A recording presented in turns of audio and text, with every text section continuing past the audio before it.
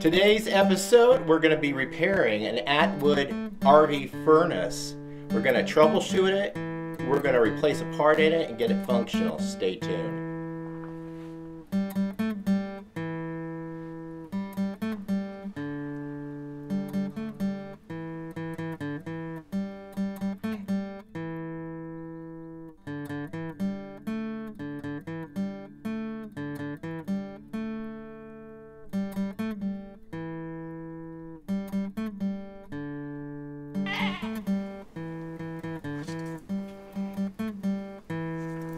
Welcome back to Pine Meadows Hobby Farm. I'm your host, Jerry Hanson.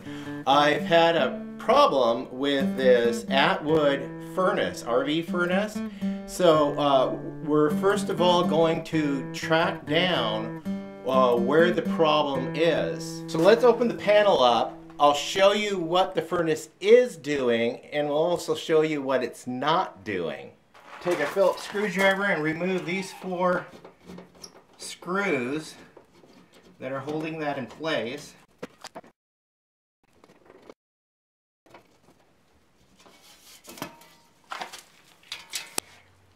Turn the thermostat on to heat and we'll go out and turn the fan on to make sure there's power getting to the unit. If there was no power going to the unit, you'd want to check your batteries first to make sure your batteries are fully charged if it's not hooked up to uh, shore power, which is plugged into a house circuit, uh, 110. Uh, and uh, in this case, we are plugged into 110. My batteries are fully functional and operational. Next thing I want to check is your fuse box. Make sure you don't have a blown fuse. And then make sure your uh, your thermostat is functional. This particular thermostat is a battery operated thermostat that is digital and programmable. I installed this in a previous video. This uh, thermostat is rated to where the little AA batteries actually power the unit and operate, uh, it powers a little switch in there and that switch uh, can take anywhere from um, 2 volts to 24 volts and push it through to the uh, board down here, the fan unit, uh, on another switch, which is a little solenoid switch. And that little switching mechanism, only it, right now it's allowing 12 volts to run through there. So yes, this is a, a household uh, thermostat that I installed on this uh, on the coach a household thermostat will work so long as it's the model, the type that has little AA batteries in there that actually run the switching mechanism in the th unit itself. And it, like I said earlier, this thermostat will accommodate anywhere from 2 volts clear up to 24 volts. Now we're only running 12 volt system through there, so it clicks a uh, switch, allows the energy to come back through and goes to this switch right here. This switch right here is a relay. It allows, it has 12 volts going through this leg, which is acts as a solenoid, and then the main power voltage, or actually this this leg right here and this leg right here, are your 12 volt all of it's 12 volt and the main switch is what allows the main power to come through and energize the uh, the control board. You also want to make sure that this isn't tripped. This is a circuit that can trip. Make sure that that's pushed in. And then make sure your switch is turned on. And now we have power going to the unit. So there is power going into through the unit. Yes, the thermostat works. The, uh, uh, the fuses are fine because it's allowing power to get through to the unit so you can hear where the fan is going. Another point of troubleshooting, if your furnace ain't lighting, check the propane. You could be out of gas too, but I just filled these. I have plenty of gas. There's heat coming out of there now. But I got a problem here. My control board is not lighting up and the control board is what activates the solenoid on the gas to allow the gas to go and also the control board ignites the spark which starts the flame in the first place to give us heat.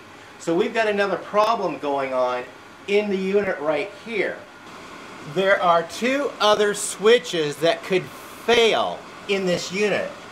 Way back deep in there where these two wires go to, it goes to what they call a high temperature limit switch.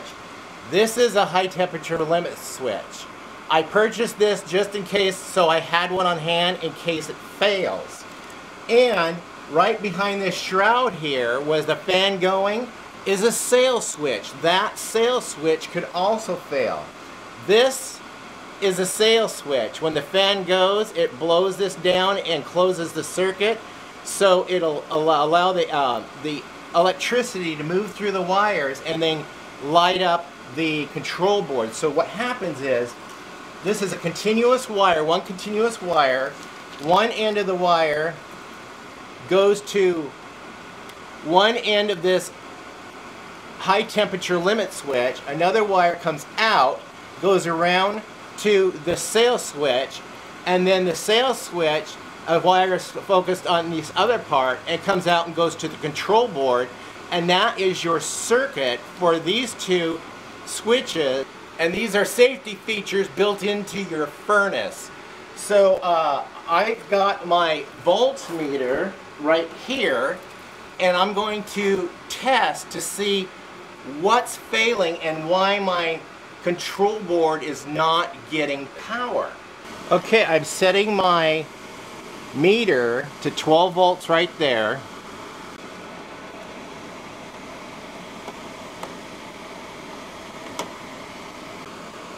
I'm going to test these two wires right here uh, because this goes, this comes from the power down to the limit switch and then back out to the sail switch. And if the limit switch is bad, uh, one wire will be dead. If uh, and if the sail switch is uh, not uh, malfunctioning, then the other wire will be dead. So, let's see if this works. Watch the meter. Let's put the negative right here. And then the positive right here. Nothing. The sail switch is bad. And this goes to the limit switch. Limit switch is functioning.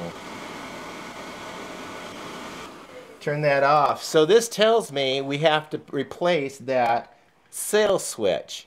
So let's go ahead and replace the sail switch and then we can see if my board actually lights up. To access that, I have to remove this shroud. These two little points right here is where the sail switch is mounted, right on the back side of that. So we got to get this cover off. We're going to remove this. There's two screws in there that hold that in place.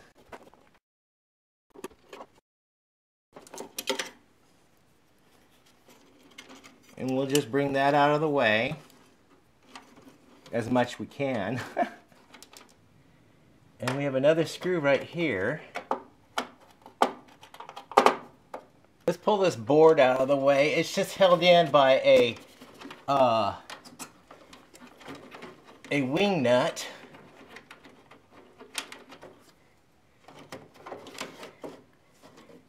Disconnect it there.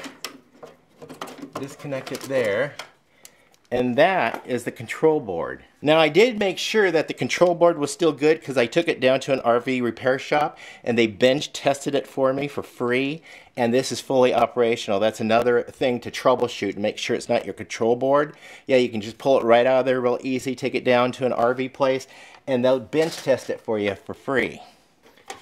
Okay, now we pull this off theoretically, there's another screw right here.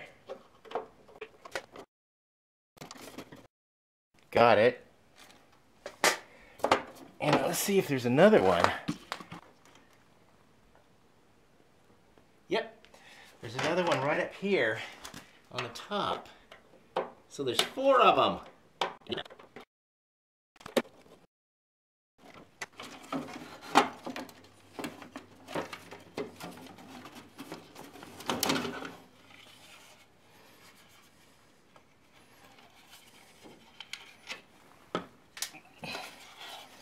And there's that limit switch. Right there. That has failed. So let's take that out of there and replace it with a new one. Take the white wire off and plug it back into the same spot as this other one. And the blue wire plug that in.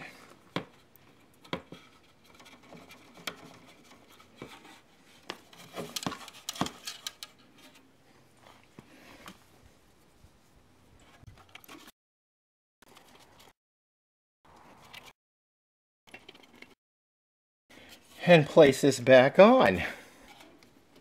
This way we don't have to pull the full the whole furnace out of here. This makes it a little bit easier. And you got this ring, make sure you get that back on in its proper place. Ah.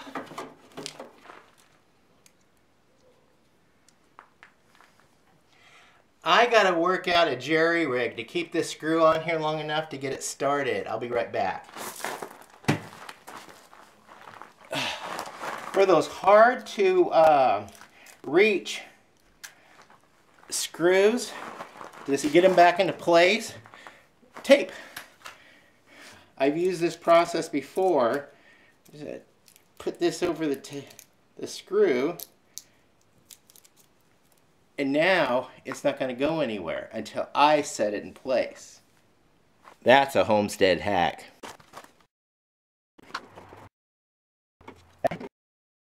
And it's in place. Now we got to get the bottom one. Yep. We'll do the bottom one the same way. Yeah, because sometimes the screws just are not cooperating. Okay.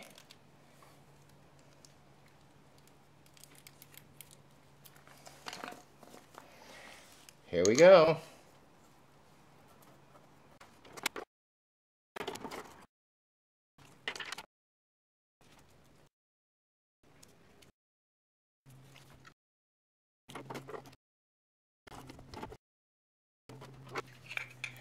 Victory!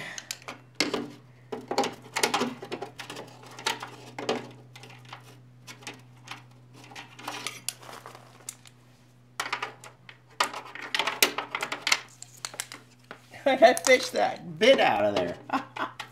there we go. All right, now we got to remount this. There we go. The other little screw.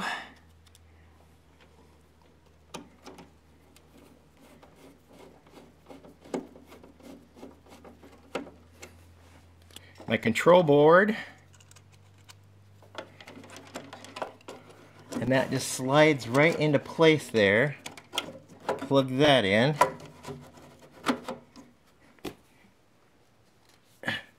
put the wing nut on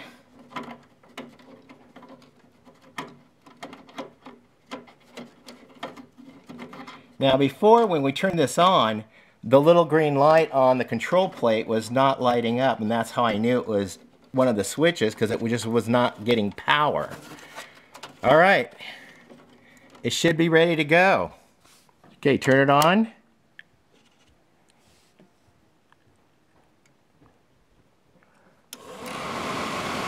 We got power.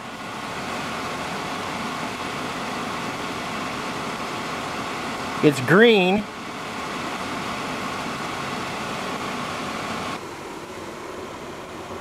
And now we got fire in there. The heater's fixed. I'm going to park this limit switch right in here so I, know I have it handy if I should ever have to use it.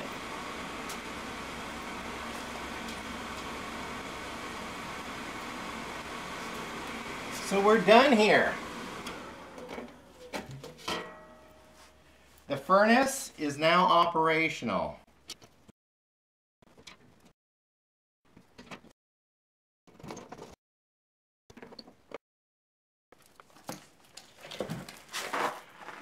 Well, now most all furnaces have the same set of uh, switches, types of switches, that uh, this could be applicable to just about any RV furnace. I'm your host, Jerry Hanson from Pine Meadows Hobby Farm. I want to thank you for joining me on this episode. Yeah, replacing a failed sail switch. Uh, yeah, these things get gummed up. Look how dirty that is. Yep, that's probably partly why it failed. Anyway, please stay tuned to more videos. You could do that by subscribing and clicking that bell icon. That alerts you to new videos as I do upload them. I've got some other backyard mechanic episodes going on here coming up shortly. So, yeah, I have the time on my hands and I'm going to be taking care of those. Please smash that like button and also click that share button. Sharing my videos on your social media platforms helps us out. Hey, be safe, always be kind. We'll see you guys in the next episode. I hope this helped you out. Bye-bye now.